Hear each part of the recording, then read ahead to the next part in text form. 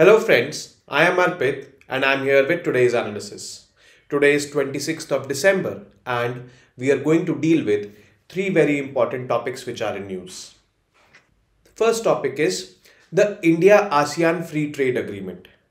This India-ASEAN Free Trade Agreement was signed in the year 2009 for goods, in 2014 for services. And this is presently in news because both these I would say entities, India and ASEAN, which is a grouping of 10 Southeast Asian countries, they want to modernize this particular trade agreement.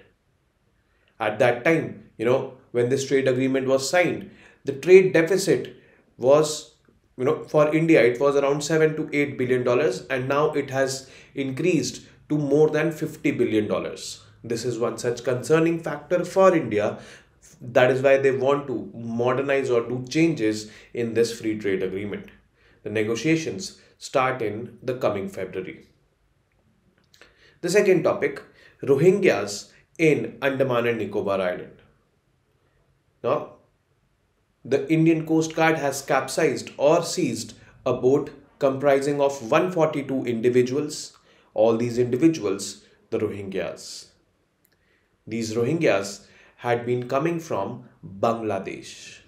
Well, you might have, you know, heard about Rohingyas coming from Myanmar, but yes, a lot of Rohingyas have been relocated in Bangladesh since 2017. It is believed that these Rohingyas were going to Indonesia from there, from, from Bangladesh. So, you know, the United Nations Commission on Refugees it has you know applauded india's efforts for taking them into custody keeping them safe giving them food and shelter. That is why this was in news. And the last topic for today will be mr s. Jaishankar visiting russia. Now this is a very very important visit because every year up till 2021 there was a summit between India and Russia where the Prime Minister of India and the President of Russia they used to meet. But since 2022, since the last summit happened in 2021, since 2022, no such meetings have happened. This is owing to the Russia-Ukraine war. In this visit of Mr. S. Jaishankar, he will be discussing all the you know existing areas of cooperation with Russia, which we have, that is defense, energy cooperation, or we, we, we talk also talk about connectivity with them. How to increase overall trade the rupee ruble settlement all these things will be under consideration. So let's get started with the first topic. India asean free trade agreement. Now in order to get into this topic we should first understand that what is a free trade agreement. Okay.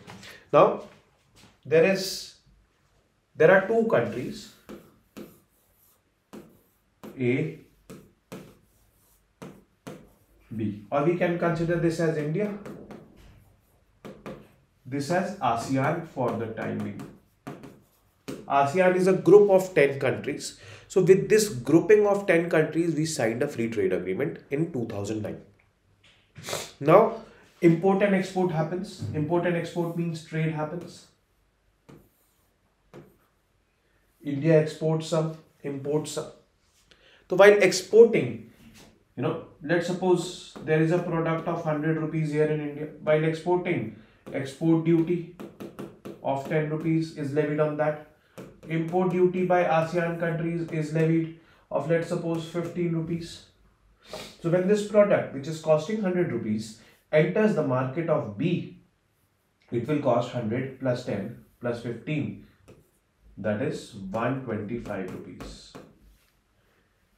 Collectively, export duty and import duty are called as tariffs. Now coming to this thing that what is a free trade agreement? It is an agreement between two parties, here in this case two parties A and B, where they mutually sit and discuss an agreement where their aim to increase trade and investment in each other's countries by reducing the tariffs or I would say making the tariffs zero. Because if the tariffs are reduced or if the tariffs are made zero, then the prices will be competitive. This 125 will be around 100 only if the tariffs are made zero. So this will make trade more competitive and hence trade will increase. And this has been the scenario. Especially, you know, when we talk about free trade agreements with any any country, our trade has increased with those countries manifold. So is free trade agreement only an agreement or only an innovation of India? No, it is there. Everyone is doing it. So it is like this. Now, India and ASEAN had this free trade agreement in 2009 signed for goods, trade in goods and 2014 the ambit was increased and it was including services also. Now India and ASEAN will begin negotiations on their already existing free trade agreement. This free trade agreement is named as ASEAN India Trade in Goods Agreement AITGA. So this is 2009 wala because it was good.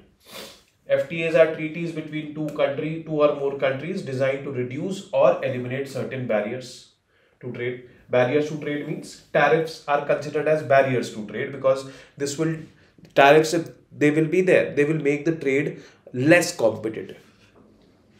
Now, what is the need to renegotiate? First is to modernize the pact. How we are aiming to modernize, what all elements we are going to add, we will see and the trade deficit for India is high. Trade deficit simply means that India is exporting less and importing more.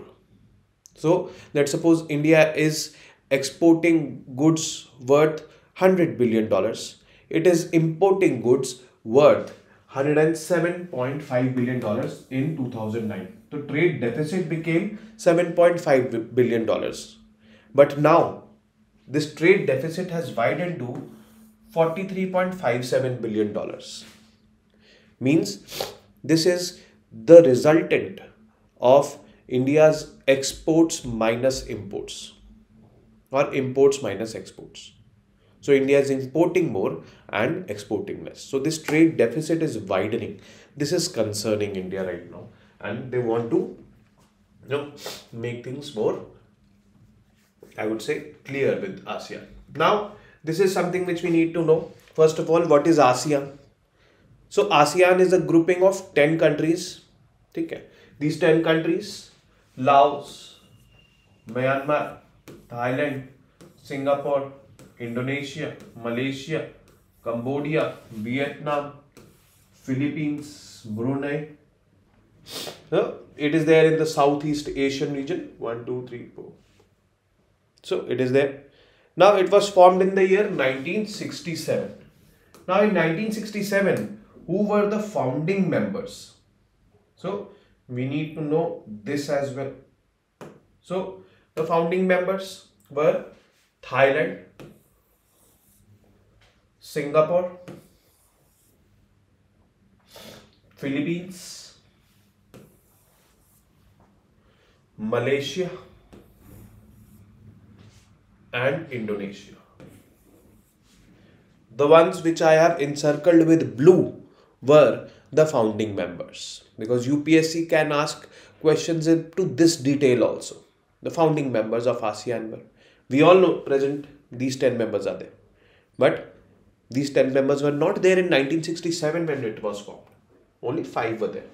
Now aim was promoting the socio-economic growth political stability of individual countries, and regional stability among its members. So, socio-economic, political, I would say integration, it is there so that, you know, uh, individually the countries benefit and the entire region also benefits. This is something which they are aiming at. Headquarters is in Jakarta. Dialogue partners, there are eight dialogue partners of ASEAN and eight dialogue partners China, India, Australia, New Zealand, Japan, South Korea, Russia, and USA. These are the eight dialogue partners, and ASEAN plus these eight dialogue partners comprise to form a grouping called as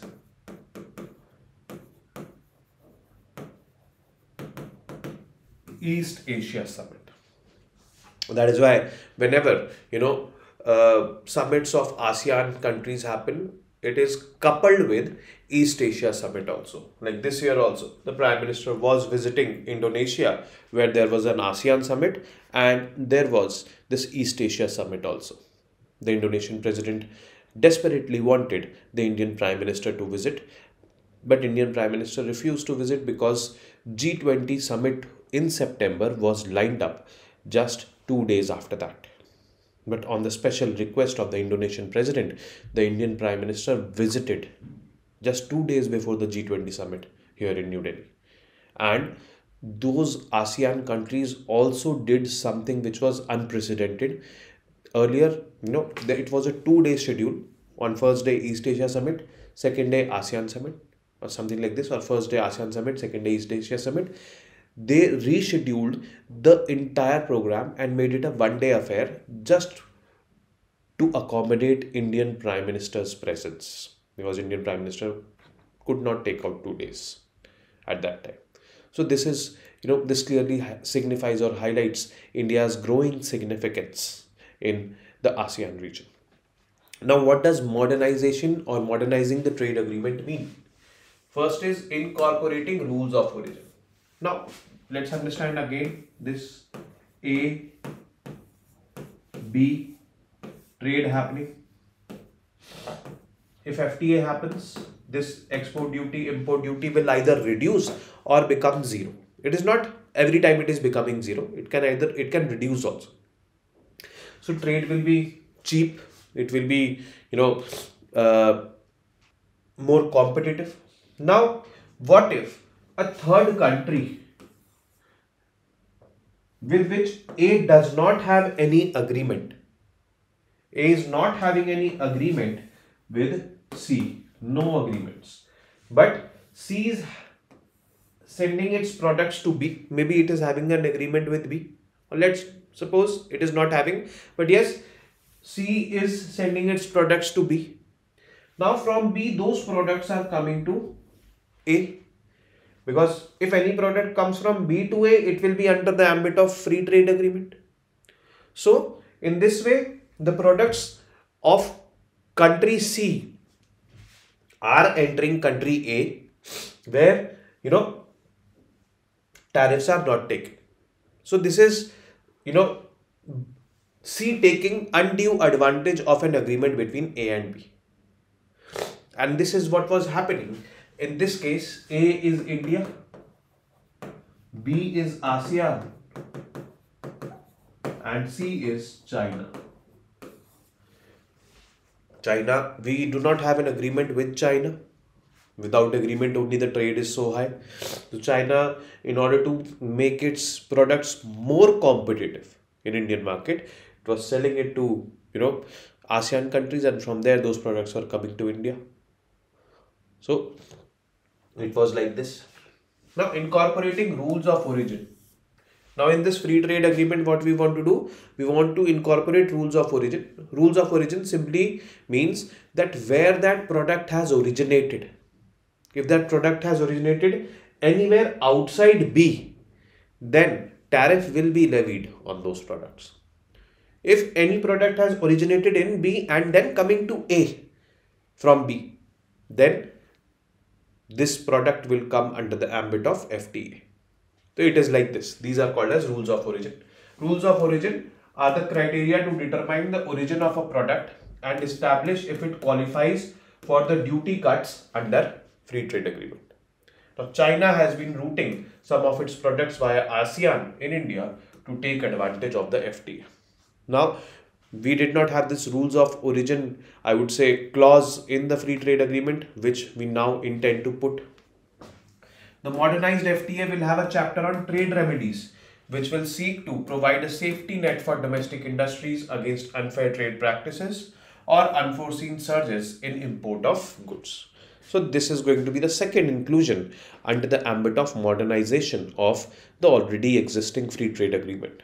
Well you know there were questions being asked by ministry of external affairs officials that are you going to include elements like women empowerment or msmes or something like this? So they said clearly that no this we are not going to do this. This will complicate the free trade agreement. We are only going to simplify it and modernize it. And this is how we're going to simplify and modernize it. Now the second piece of news rohingyas in andaman and nicobar island the United Nations High Commissioner for Refugees has applauded, you know, and expressed gratitude to the Indian government because they, you know, first of all, capsized or they intercepted a boat having 152 Rohingya refugees. 47 of them were women, 59 minors, whose boat was intercepted by coastal security agencies near the Shahid Dweep. Shahid Dweep is in Andaman and Nicobar Island. Now, this boat left from Bangladesh 14 to 15 days ago and was on its way to Indonesia. So, they were going to Indonesia from Bangladesh. Now, who are the Rohingyas? We need to understand this. They are an ethnic group, largely Muslims. Actually, Rohingyas are some of them are Hindus also, some of them are Buddhists also, but largely they are Muslims living in the Rakhine state of Myanmar. Now, they were not granted citizenship by Myanmar and labeled as resident foreigners or associate citizens. They were labeled like this. They fled their homes in 2017. Obviously, they had been granting citizenship or they, they have been demanding citizenship. They were devoid of certain facilities in Myanmar because they were not citizens of Myanmar. And their demand, or I would say that their long standing demand of citizenship was not fulfilled. Now, in 2017, there was an incident where you know some Rohingyas were involved in raping a Buddhist woman over there in uh, Myanmar. Buddhists are in uh, majority over there, and these obviously Rohingya Muslims are in minority. So, after that incident, there was a heavy crackdown by the Myanmarese army on them, and they started to flee away from Myanmar. The United Nations has clearly depicted them or labeled them as the most persecuted minority. Now, they fled. Some of them went to Bangladesh, some of them went to ASEAN countries, Southeast Asia, particularly Indonesia, where Muslim population is huge, and some of them came to India also. Now, we need to understand this that how has been India's response to the Rohingya crisis. Now, our response to the Rohingya crisis is largely calibrated or assessed in three phases, I would say. Now, first phase was 2012. India considered the crisis as an internal matter of Myanmar and allowed refugees to enter India.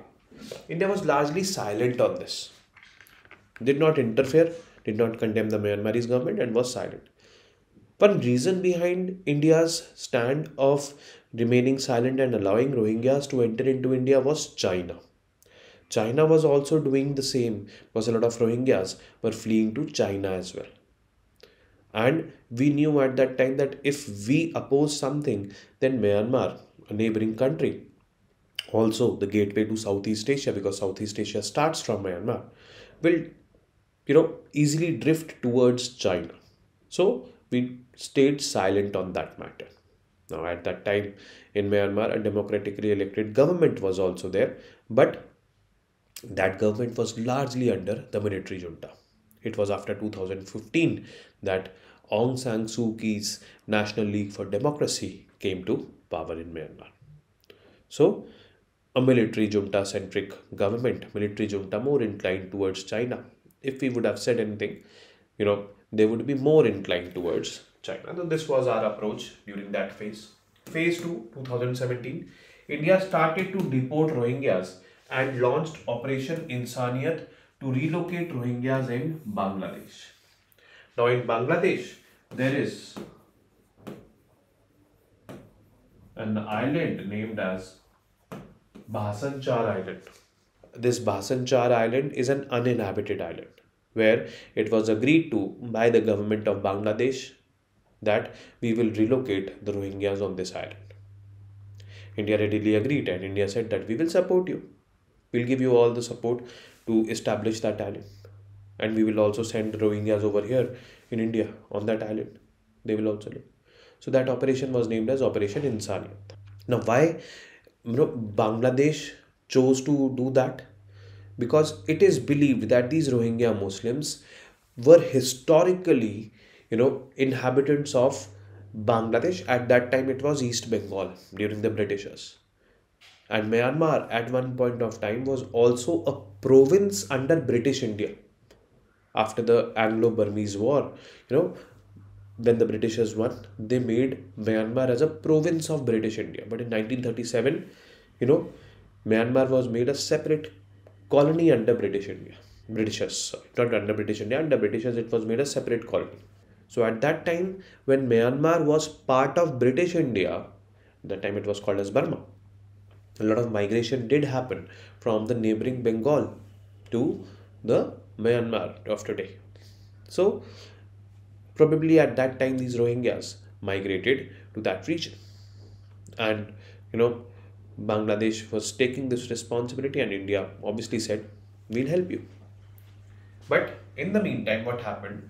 China launched its three step solution in 2017 itself, in the later half of 2017. This three step solution was aimed at rehabilitating the Rohingyas in Myanmar only. Then India turned towards Myanmar. India said, We'll help you. Don't worry. We signed an MOU with the government of Myanmar on Rakhine State Development Program and we pledged 25 million USD for constructing houses over there, schools, makeshift hospitals for these Rohingyas. And we started giving them money. So, if you closely calibrate India's stand, it was that we don't want Rohingyas over here. Wherever you want to take them, either Bangladesh, which happened under Operation Insaniyat, or Myanmar, we are ready to support you. Because there are a lot of problems already here in India. Rohingyas presently in India, they are there, they are under detention. A lot of them are there in Jammu and Kashmir also, and they will be deported back. The timeline has not been set because the government in Myanmar actually is not there. The military junta is ruling, so it become it is becoming unpredictable, you know, to assess when they will be going back. And now this new episode of 142 Rohingyas being, you know, intercepted by the Indian coastal authorities in Andaman and Nicobar Island. Presently, we are keeping them in detention camps. We are serving them well. We are keeping them okay. But in future, what will happen? Let's see whether these Rohingyas 142 will be deported back to Myanmar or back to Bangladesh only. So, this we will see. And the last is S. Jaishankar in Russia. Now, India and Russia used to have an annual leaders summit every year. The Prime Minister of India and the President of Russia they used to meet every year, and this meetings happened till 2021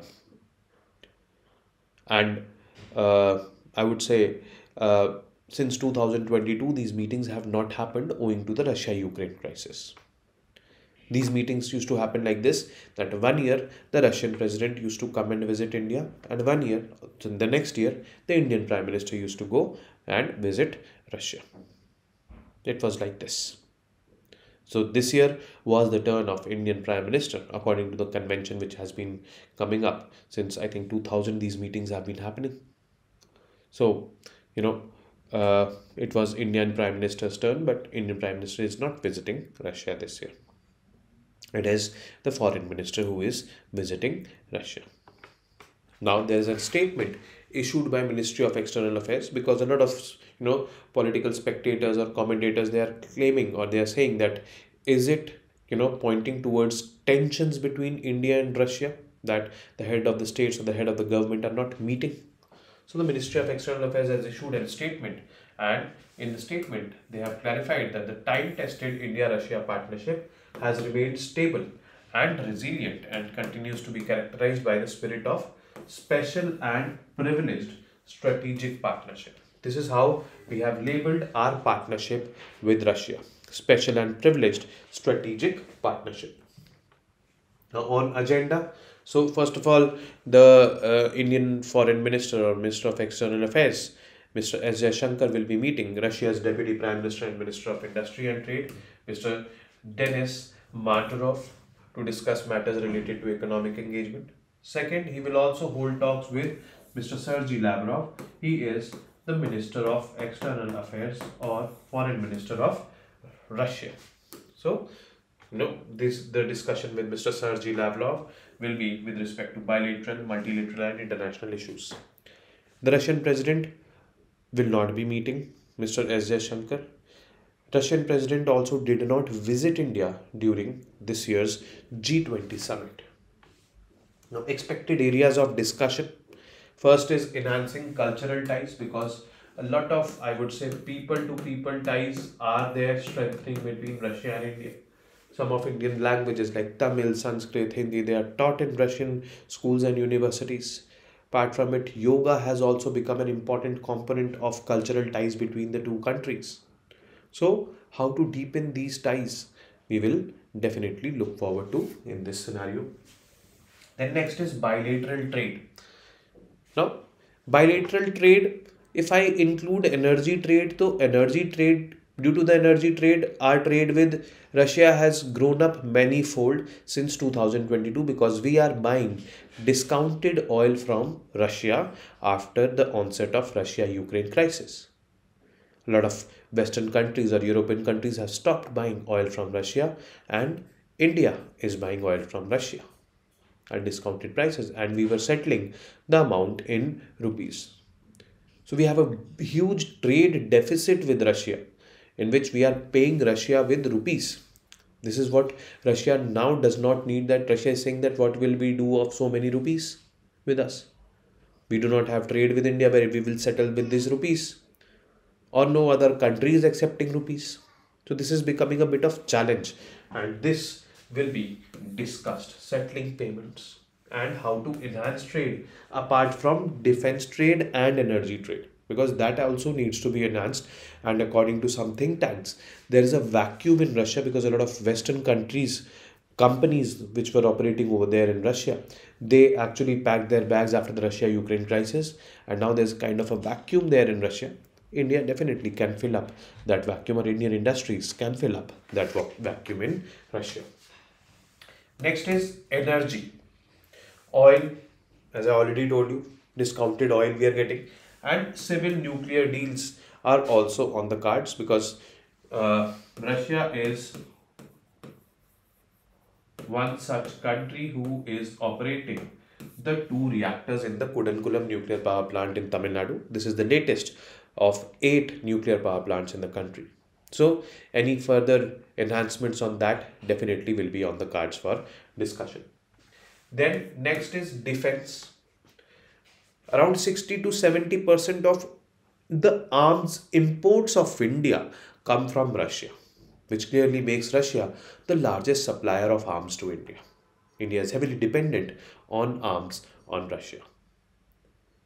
Apart from imports from Russia, we also upgraded our defense partnership with Russia from buyer seller merely to co-development partners where we are you know doing research and development also as partners and then you know manufacturing those products as partners the classic example over here is the BrahMos missile which has been co-developed by India and Russia. Bra stands for Brahmaputra River, Mos stands for Moskva River, which flows in Russia. So apart from import export, that is already there, but we have also, you know, become co-development partners of each other. Actually, the main issue in arms trade presently between India and Russia is the delayed arms exports by Russia, which is, you know, hampering India's situation. India, no doubt, is also looking to diversify its arms import basket. But yes, you know there is huge dependency on Russia which we can see and in this dependency the exports are being delayed. That is something which is unwanted. So this will be discussed. Next is connectivity. A lot of I would say connectivity corridors we have established like very recent Chennai Vladivostok sea lines of communication which is basically a sea route connecting Chennai on the eastern uh, coast of, uh, I would say, India with Vladivostok on the eastern coast of or far eastern coast of Russia. Then INSTC, International North-South Trade Corridor. International North-South Trade Corridor basically goes to Iran, Bandar Abbas, and from Iran it goes to Central Asia and then Russia. Chennai Vladivostok goes from here, Far East Russia. Here is Vladivostok. So these two trade connectivity, I would say, projects will also be under discussion. How to streamline them, how to strengthen them. And with this, I've ended today's session. I will now be meeting you tomorrow with more such informative news pieces.